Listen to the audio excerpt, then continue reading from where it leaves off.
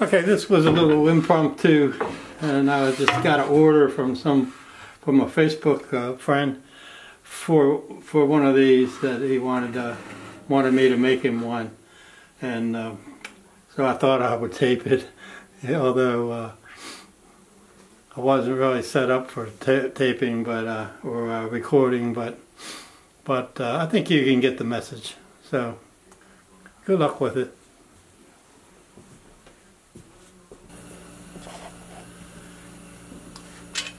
Okay, we're going to make a, um, a little horizontal jig here for cutting uh, diagonal jig, I'm sorry. for cutting, uh, I'm just going to cut some three and a half inch squares. This is a two by four here. They're three and a half inches and uh, I'm going to cut two square blocks out of it, three and a half inch. So get ready for some noise here.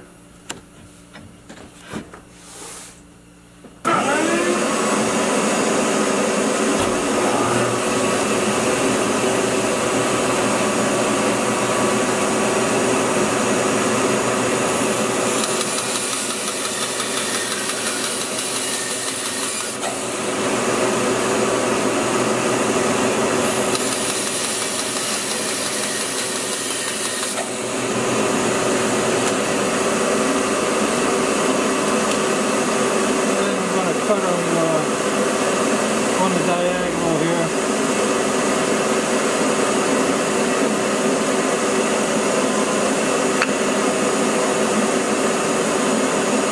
Measure corner to corner and you're going to come up with uh,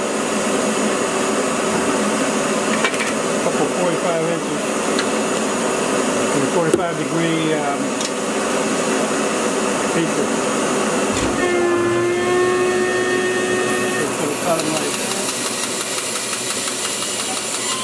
Cut them right on the line.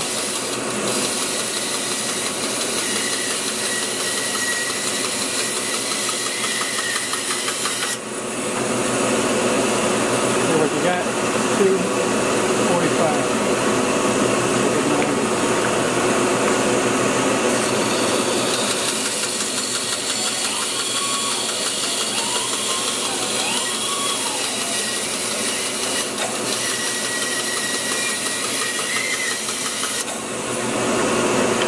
Okay. That's it.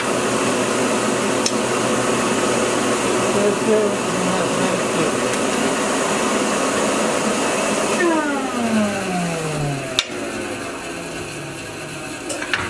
going to mount these on a. Uh, I'm going to mount these on a board where they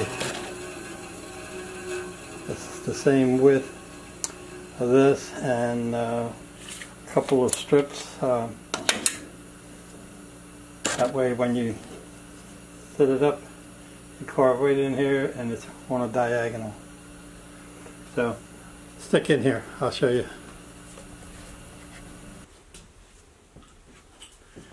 Okay, I'm just going to go ahead and make these uh, equal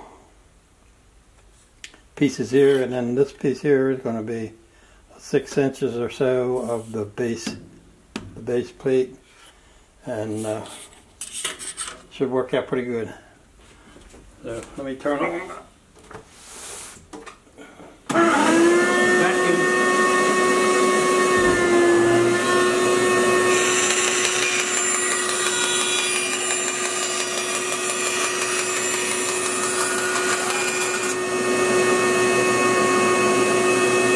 Iron piece.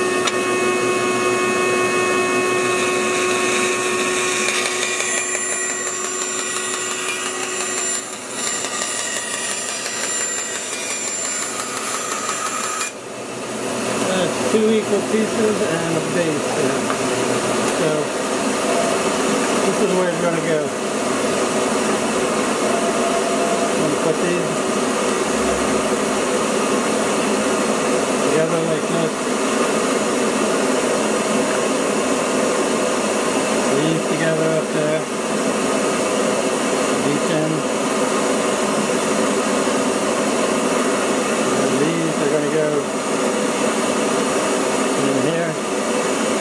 your uh, jig right there.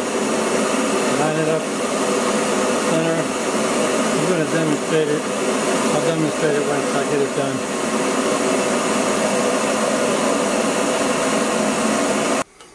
Okay, on the base we're going to put a, uh, a center line. This is what, six and a quarter, so three and an eighth. And that way you'll have a, a center line on here to go by.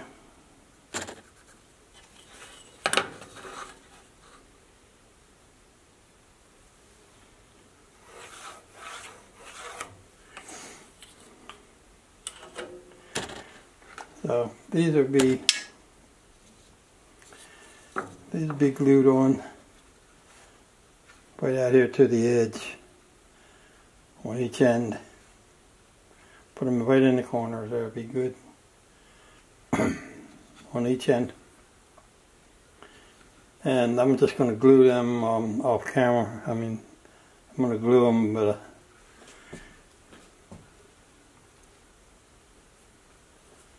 and you'll see it. You'll see a finished product.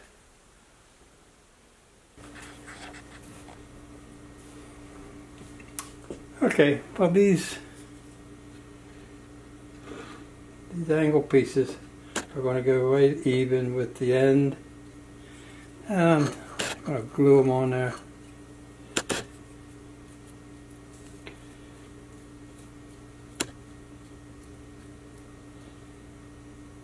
Like so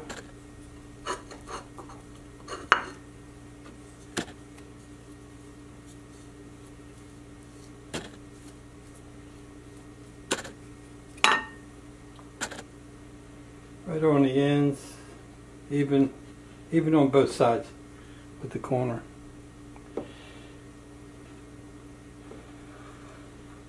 And you can see how I did that. I'm going to put this little piece of board across here, or wood, just to keep it even pressure instead of uh, trying to glue that up, trying to uh, clamp that up. Uh, on the edge of that. So this is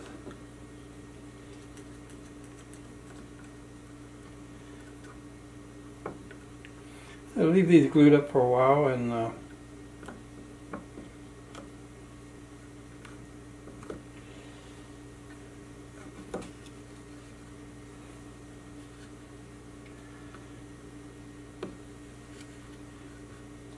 make sure this is flush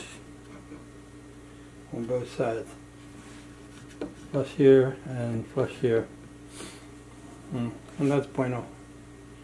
I'm going to let, this, let these dry a while like this. And that's basically what it is.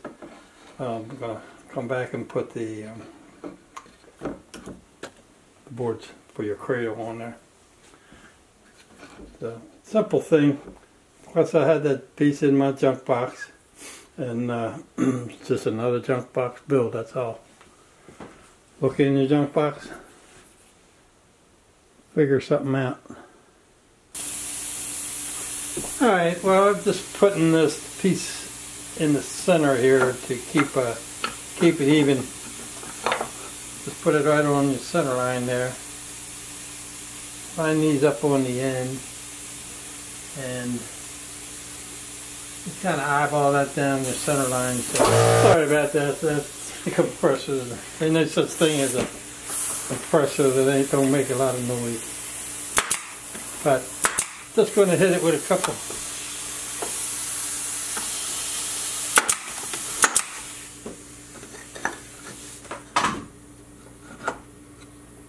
Couple brads there, and uh, that should hold it.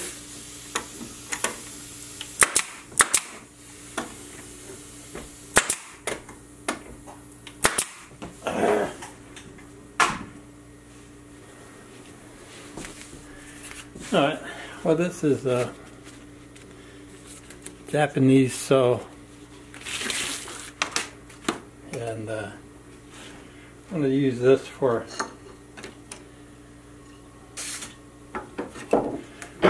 trim these edges off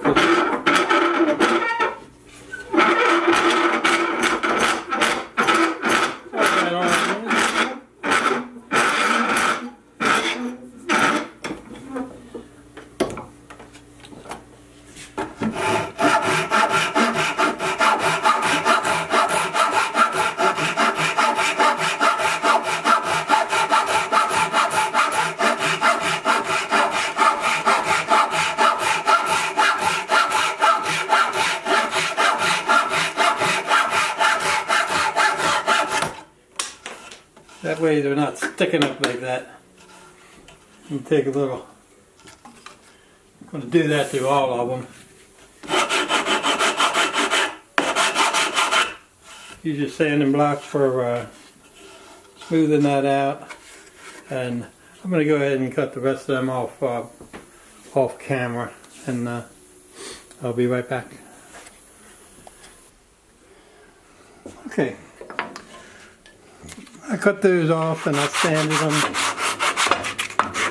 Sanded them to make them a little bit smoother there. And the idea here is to line this up with your bandsaw blade and a square piece of wood, not oblong or, you know, rectangle.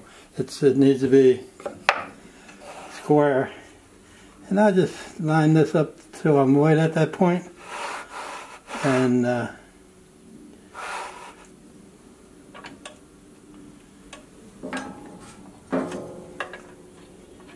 I'll just lock, lock in my fence here. right about there.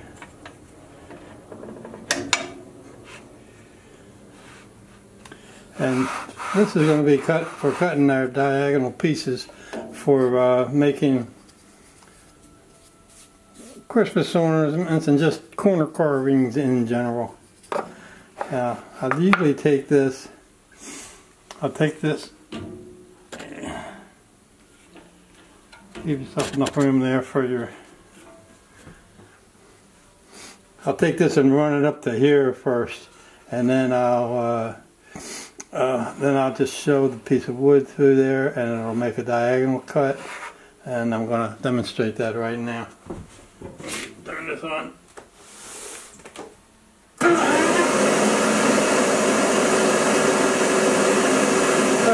Let's take this, let's just take this up uh, about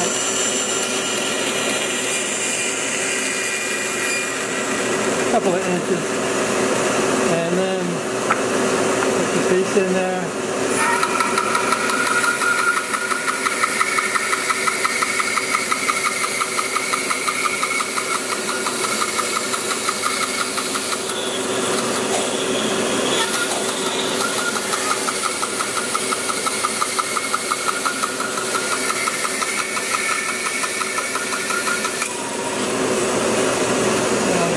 pieces right in on a diagonal like that.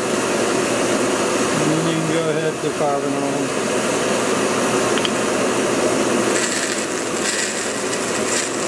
Just do that next time you set it up, just set it up right to that point. Set this on.